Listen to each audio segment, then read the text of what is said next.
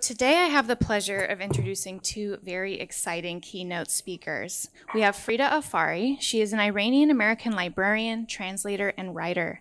She has served as an adult librarian at the Los Angeles Public Library for over 20 years. Her work has included organizing many library programs on philosophy, literature, economics, feminism, U.S. history, and current world events. She is the 2023-2024 core chair uh, co-chair of the PEN Translation Committee and an active member of the American Library Association. Her book, Socialist Feminism, A New Approach, was just published by Pluto Press. Today, she will be speaking to us about confronting disinformation and book bans by cultivating critical thinking and empathy. We will also be hearing from Wenda Powell, she is currently a professor emerita of history and ethnic studies at Los Angeles Southwest College. She is a graduate of the University of Michigan and the University of California, Los Angeles, respectively. Her master's program included history and ethnic studies with a special interest in African American folklore. She is a writer, poet, and in the words of Bertolt Brecht, a worker who reads. A long academic career of over 40 years includes teaching in the Los Angeles Community College District tenure as Department Chair of Behavioral and Social Science, Passage Program at UC Irvine, State, California State University Los Angeles, and numerous other conference and community engagements. Her topic today will be From Critical Thinking to Critical Race Theory, Unearthing History. Hello. It is an honor and a pleasure to address San Francisco Bay Area public librarians about the future of libraries. We're discussing the future of libraries at a truly crisis ridden and dangerous moment in history. The effort to ban books on gender and race from many US and US school and public libraries has been relentless in the past two years. In 2022, the number of attempts to ban or restrict library resources in schools, universities, and public libraries is on track to exceed record counts from 2021. And that record count in 2021 was 1,597 attempted book bans in 700 different libraries or library systems. It represented the highest number of attempted book bans since the American Library Association began compiling lists more than 20 years ago. At the same time, the spread of disinformation and misinformation through social media and various networks have been poisoning the environment in the US and globally.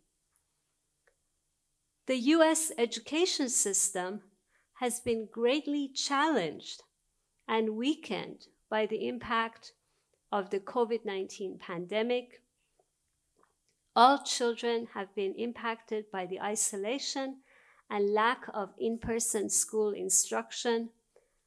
Black, Latino, and Native American children in low-income and marginalized communities have fallen far behind. By some accounts, the pandemic has set schools back by two decades. US children are also facing an unprecedented mental health crisis. Moreover, many are mourning the death of family members who were part of their support system.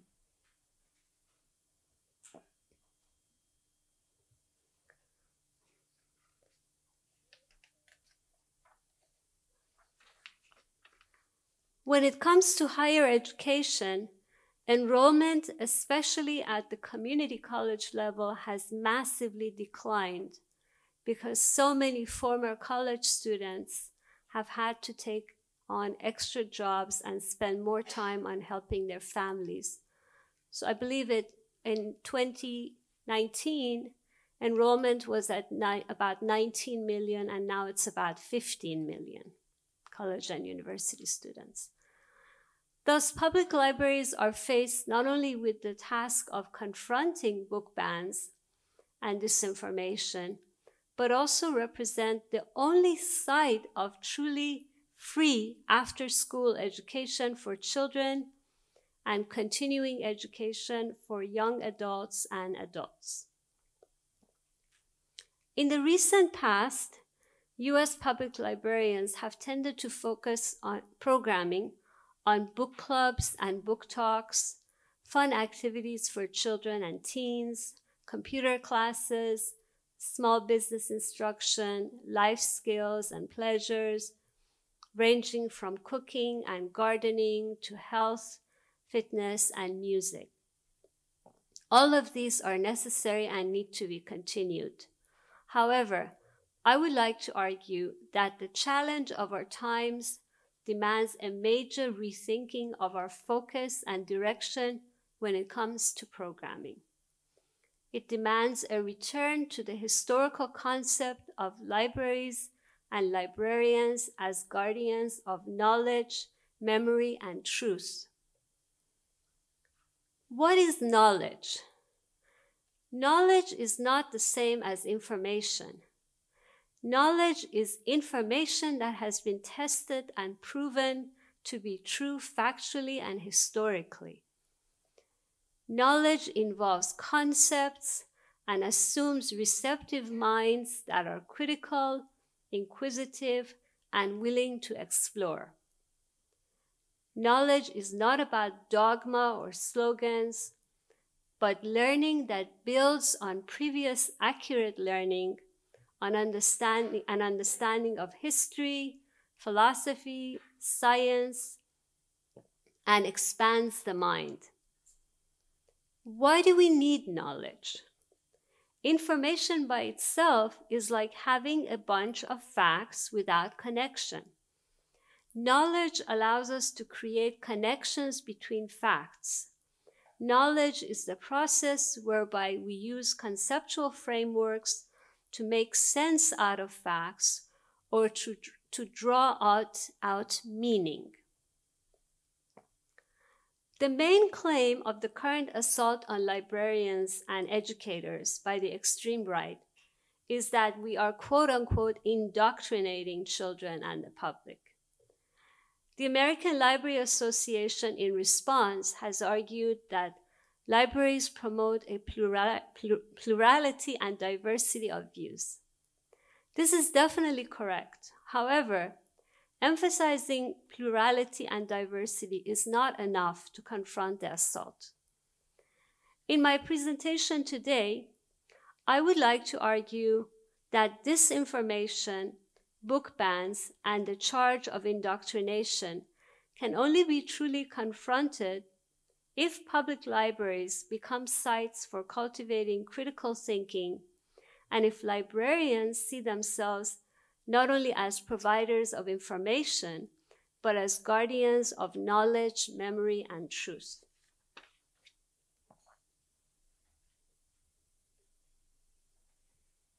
Let's look at what critical thinking means from the vantage point of Maryanne Wolf and Audre Lorde. Wolf is currently a leading scholar of information and education studies. Lorde was a renowned poet, writer, and also a librarian. So, first, Maryanne Wolf on critical thinking.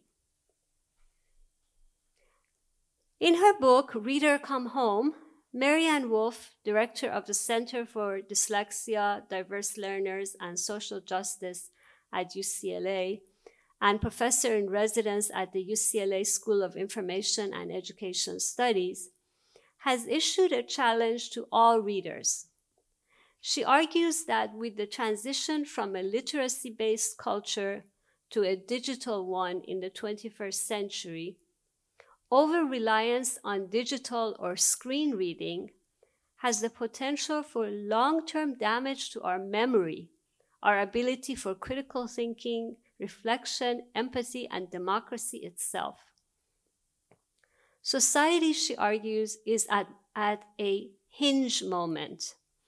On the one hand, over reliance on digital mediums and media and their algorithm, algorithms of distraction can change the brain circuitry of humans and possibly diminish our distinctive human potential for critical thinking and reflection.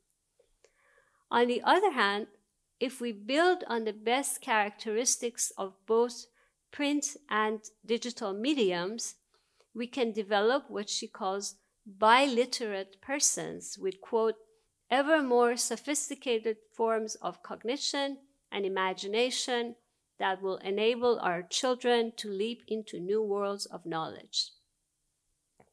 End of quote from her.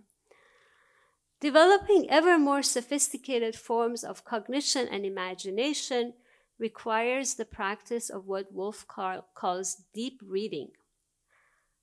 What is deep reading? Deep reading begins with attention, remembering, following the sequence of the text narrative, and drawing connections between the observations and questions gleaned. It requires putting oneself in the position of others. It is thus connected to empathy as both knowledge of and feeling for the other.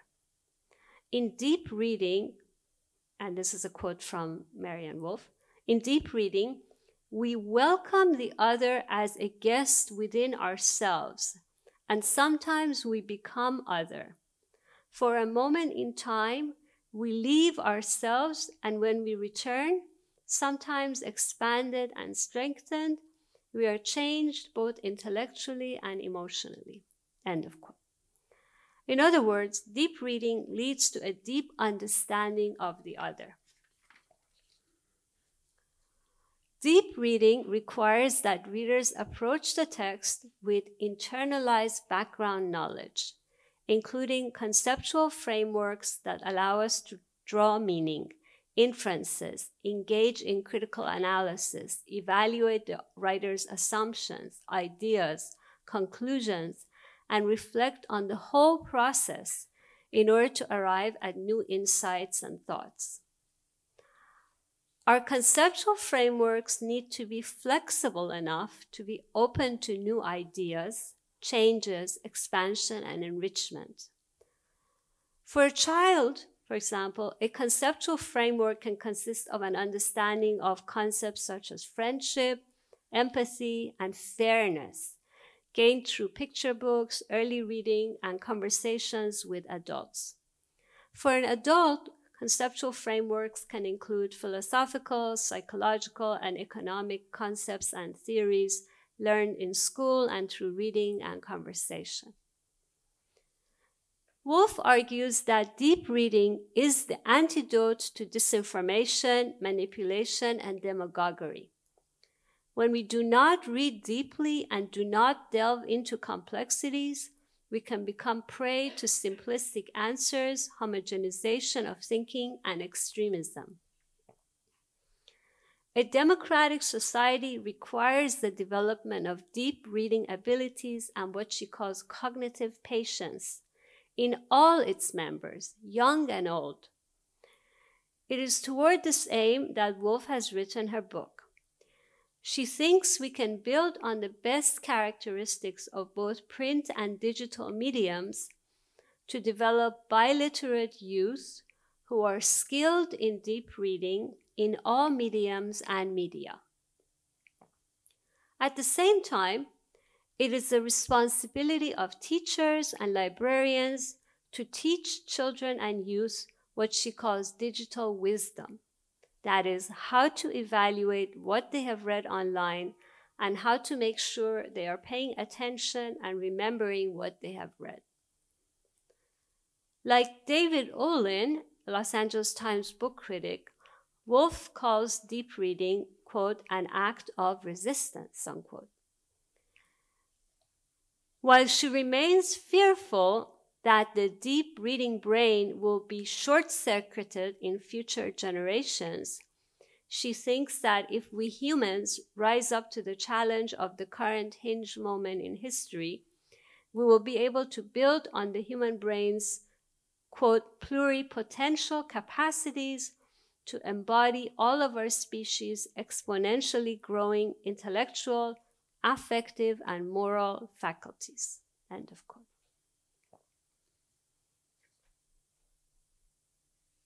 Let's move on to another scholar and activist, Audre Lorde, Black feminist poet, writer, and librarian, whose various essays address critical thinking in diverse and creative ways. Lorde, similar to Wolf, calls on us to engage in deep reading and comprehend and develop empathy for the other. Lorde also helps us see what it means to go beyond pluralism and truly engage in critical thinking and hence develop empathy for the other. For her, critical thinking is far more than tolerance of the other to whom we are indifferent. In a letter written in 1984 and addressed to the organizers of a conference on the lives of American women, she wrote, Difference must be not merely tolerated, but seen as a fund of necessary polarities between which our creativity can spark like a dialectic. Within the interdependence of mutual non dominant difference. She further clarified what she meant by non dominant difference in another essay also written the same year, where she argued that racism, sexism, heterosexism, and homophobia represent an inability to recognize the notion of difference as a dynamic human force, one which is enriching rather than threatening to the defined self when there are shared goals. So, Lorde is making a distinction between dominant differences and non-dominant differences in which which are, which are not about racism, sexism, homophobia, but rather the, the notion of difference as a dynamic human force which is enriching when there are shared goals. Lorde challenged the distorted view of relationships that lead from disagreement to destruction. She wrote, quote, this jugular vein psychology is based on the fallacy that your assertion or affirmation of self is an attack upon myself, or that my defining myself will somehow prevent or retard your self definition. Unquote. Instead, she envisioned, quote, moving together as self defined persons toward a common goal. Anything short of this was to Lorde an oversimplified approach and an incomplete vision. For her, critical thinking was not an academic question, but a skill for survival and creating a world in which people do not simply tolerate each other, but come together through shared knowledge and understanding and help each other flourish as caring and empathetic human beings. This is what Lorde saw as the mission of librarians. What we see in both Wolf and Lorde is an appropriation and further development of the concept of humanism with its roots in the Socratic method of dialogical or dialectical reasoning, and the Aristotelian ethical concept of seeing the other not simply as a mere means, but as ends in themselves. However, unlike the ancient Greeks or some of the later European humanist thinkers who limited their concept of humanity to propertied men and accepted slavery and the oppression of women, Wolf and Lorde see humanism as a philosophy of critical thinking and empathy that can liberate the ordinary public and especially the marginalized and the underserved. Now I would like to devote the rest of my presentation to discussing how critical thinking can translate into library programs and partnerships.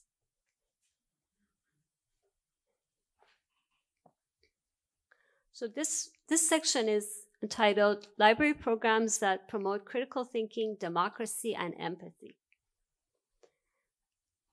The year 2022 marks the 90th anniversary of the publication of Aldous Huxley's Brave New World, a work depicting a future in which a caste based, misogynistic, totalitarian, state capitalist system rules the world. The family and emotional love have been abolished. embryos start in test tubes, fetuses grow in incubators, babies and children are raised and ideologically conditioned by the state. Thinking and reading of books are banned, but unlimited use of drugs and sex are promoted. In his Brave New World Revisited, published in 1958, which includes Huxley's reflections on his book, Huxley has argued that he views this type of authoritarianism as more viable than that depicted in George Orwell's 1984, in which more force and brutality is used to promote dictatorship.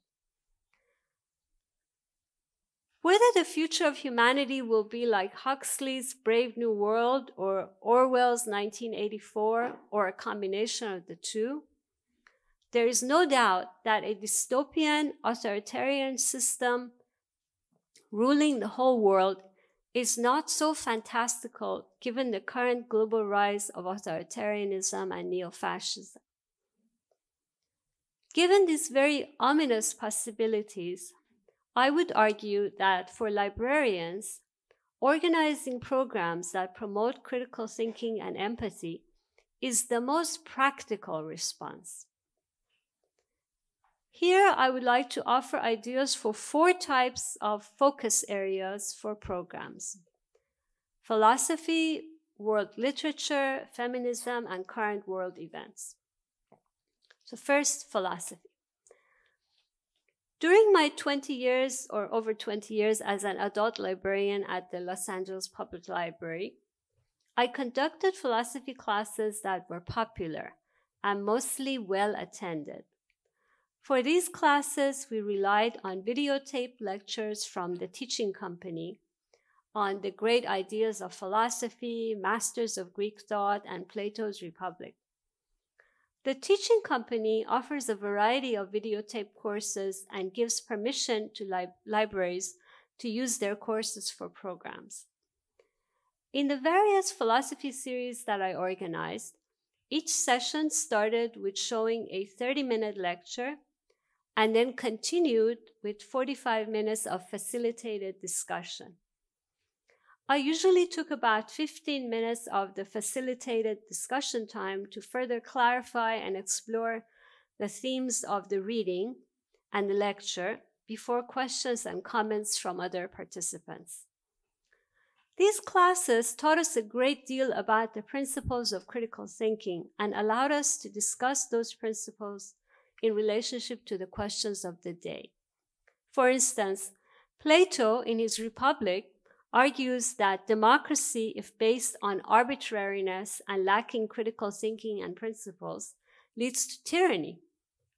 He says that it leads to the rise of demagogues who use the populist language of being for the people to promote their own self interest.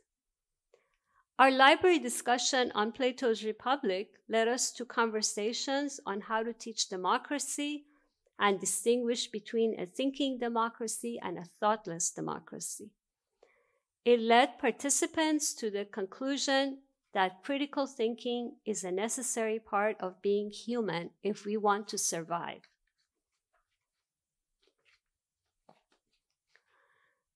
Discussions on philosophy and critical thinking also need not be limited to adults.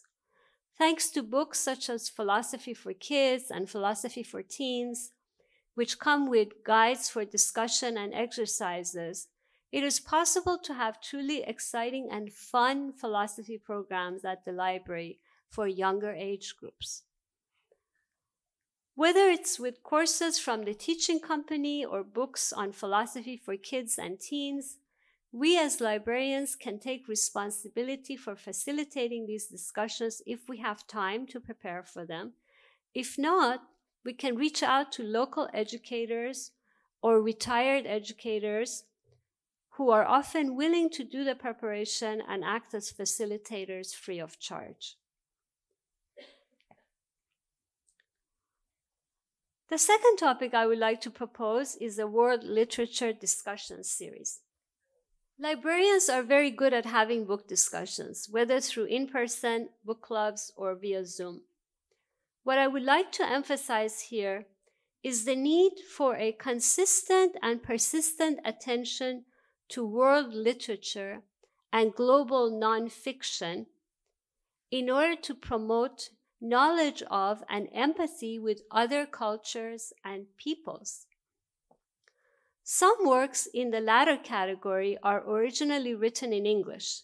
For example, Azar Nafisi's Reading Lolita in Tehran, which gives readers a powerful understanding of what happened in Iran after the 1979 revolution and recounts the efforts of an English professor to promote critical thinking through discussing world literature with her students, even as the religious fundamentalists took over the country. This book will, in fact, face a renewed interest now with the current mass protests of Iranian women against the compulsory hijab and for women's rights, free speech, and against a religious fundamentalist government in Iran. There are other relatively recent translated works of literature or nonfiction which deserve special attention.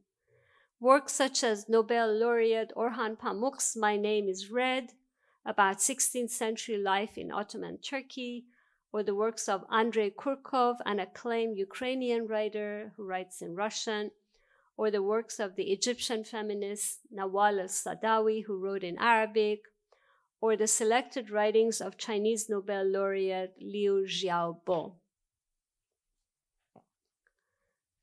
As the 2023 co-chair of the PEN Translation Committee, I'm currently involved in an effort to create a speakers bureau for the committee.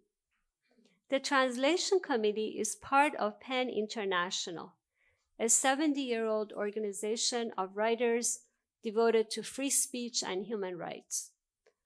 The Speakers Bureau includes stellar translators who have translated a variety of works of world literature and are willing to offer book talks to public libraries, either in person or via Zoom. For example, Sandra Smith has translated various books of the Ukrainian Jewish novelist Irene Nemirovsky, and also most recently Simone de Beauvoir's Inseparables, a book which is appropriate for both an adult and a young adult audience. Smith is available to speak about any of her translations or these and other French writers in general. Jeremy Tiang, a Chinese translator, novelist, and playwright, who has offered, is also another another possible candidate who has offered to speak about the folktale Nine Colored Deer, which they have translated from Chinese. Such a partnership with PEN can greatly enrich library programs. The third uh, topic that I would like to propose, a, a series topic that I would like to propose, is feminism and women's rights. So this would be a feminism discussion series. Whether it's reproductive rights or the Me Too movement against gender violence or gender identity and gender orientation, feminism is a hot and timely topic to discuss. The fact, the fact that the extreme right is banning books on these topics and accusing librarians of, quote, pedophilia, unquote, should be even more of a reason for us to address these issues in rational and thoughtful ways. According to a poll from the National Public Radio and Ipsos earlier this year, only 18% of US parents said their child's school taught about gender and sexuality in a way that clashed with their family values. 19% said the same about race and racism. Thus, in fact, most parents in the US are supportive of the teachers and librarians who educate their children.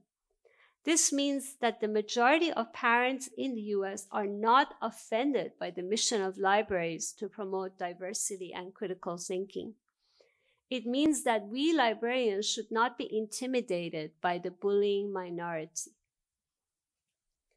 In that spirit, I would like to propose that public libraries hold discussion series on the future of feminism and women's rights and allow the public to learn about the basic ideas of women's rights as well as the different themes within feminism today. In my book, Socialist Feminism A New Approach, which was just published by Pluto Press, I have examined the contradictory developments within global gender relations in the past 40 years and have also critically uh, evaluated four theories of gender oppression. The book comes with a free of charge online workbook study guide, which contains key terms and study questions for classrooms, community, and library study groups or by individuals. It also serves, offers an extensive bibliography. In addition, books such as Unbound by Tarana Burke, founder of the Me Too movement, or collections such as Abolition Feminisms by Alicia Bierria, or Black, a Black Feminist Reader by Joy James and Tracy Sharpley Whiting, or Profit and Pleasure by Rosemary Hennessy, among others, can be illuminating resources. I hope these books and others can be useful for librarians who want to organize discussions on the future of feminism and gender equity. How much time do I have? Two minutes. Good. Okay. So this is the last section, um, the last type of program that I would like to propose, current world events discussion series. Whether it is climate change seen in the increasing fires in California or immigration or the war in Ukraine or the state of the economy. There are topics that the public is hungry to hear discussed in a coherent, thoughtful, informative, analytical manner, and not just with sound bites or quick tidbits on the news interrupted by commercials. Thanks to some excellent PEN America videos on media liter literacy, librarians can make media literacy a regular feature of programming whether for adults or teens or children. Media literacy or teaching people how to spot misinformation and disinformation is only part of the task, however. We also need regular discussions on topics in the news with a librarian or a local educator, facilitator who is qualified, has done enough research to present the facts and the main issues, and can offer a couple of suggested readings and discuss the issue in a thoughtful and informative manner. So, just to sum up in the end, in all the above proposed program series, the learning objectives will be threefold. First, identifying and comprehending the basic principles of critical thinking and how it relates to promoting democracy and empathy. Second, applying the basic principles of critical thinking to an understanding of human rights and current world events. And third, articulating and formulating the process of engaging in respectful and constructive conversations that address differences and controversial issues by reaching out for solutions. So thank you for this opportunity, and I hope this presentation has helped motivate us all to take responsibility for cultivating critical thinking as we shape the future of libraries in these momentous times.